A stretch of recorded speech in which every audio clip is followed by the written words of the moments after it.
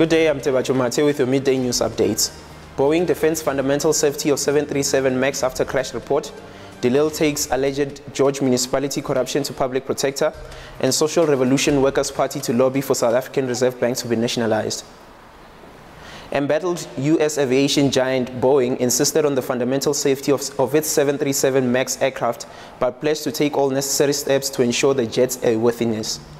The statements came hours after Ethiopian officials said pilots of the doomed plane had followed the company's recommended procedures prior to a crash that left 157 people dead. The preliminary findings released on Thursday by transportation authorities in Addis Ababa put the American aircraft giant under greater pressure to restore public trust. Good Party leader Patricia de Lille has laid a complaint with the public protector over what she alleges an investment and kickback scheme in the Democratic Alliance-led George municipality. The municipality said that it is investigating allegations that one of its councillors used taxpayers' money in dodgy investment schemes.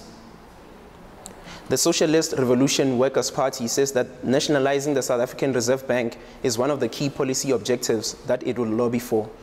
The party said that its, its manifesto is anchored on equality, work, and land.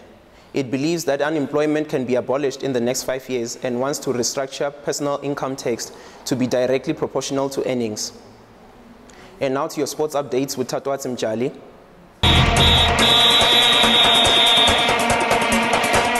Good afternoon, I'm Tata Simjalo with your sports news. The South African Institute of Race Relations says a new poll, which will be released later this year, shows that 83 South Africans, of which 82 are black South Africans, believe that merit should be the only criteria for selecting national sports teams instead of quotas. IRRE has since welcomed the news that there will be no official quota system for the Proteas at the upcoming Cricket World Cup in England. The Institute also stated that rather than focusing on the racial makeup of the country's national sports teams, the country must strive as far as possible to ensure that everyone who wanted to play a sport and excel in it be given the opportunity to do so.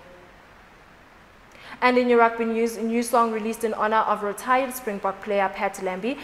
Singer Robbie Whistles released the song yesterday on his YouTube channel titled Patrick Lambie. The 28-year-old Lambie was forced to retire from professional rugby in January this year because of an ongoing battle with concussion systems. In the song, Whistles sings of Lambie, who is a hero, ambassador, and someone who does not give up.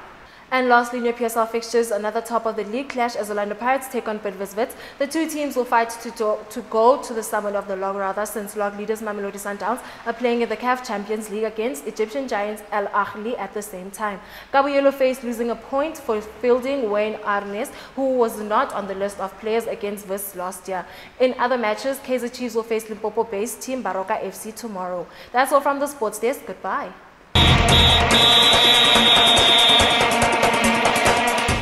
Let's take a look at your traffic and weather updates.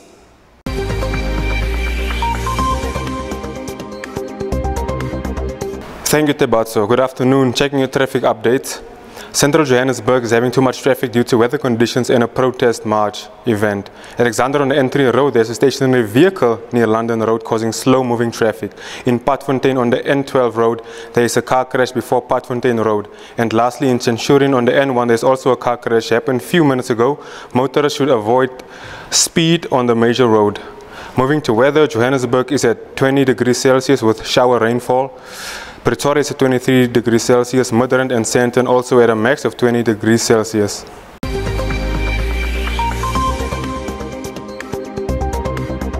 And that is it from me and the rest of the Joburg TV News team. Goodbye.